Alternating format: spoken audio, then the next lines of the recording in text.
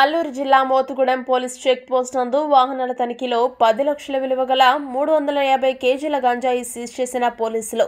చింతూరు మండలం సింధువాడ నుండి జహీరాబాద్కు అక్రమంగా గంజాయిని తరలిస్తున్న స్మగ్లర్లు.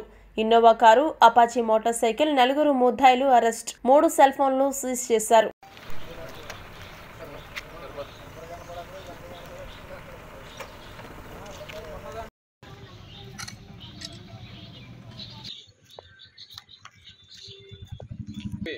సార్. చేస్తాను.